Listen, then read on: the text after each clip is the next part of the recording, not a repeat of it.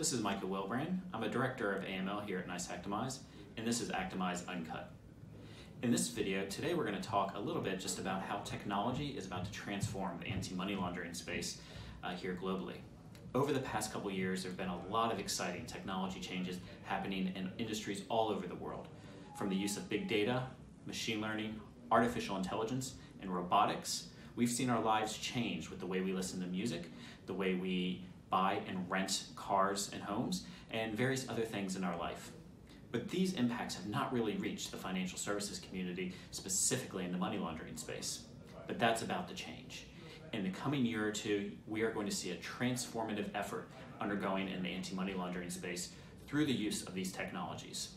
In this short video series, what we're going to do is just explain really briefly about how the impact of big data, machine learning, AI, and robotics is going to help transform the anti-money laundering space in the future. Stay tuned.